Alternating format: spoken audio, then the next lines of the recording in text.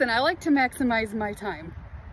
So don't mind me stopping on my way home for a manicure.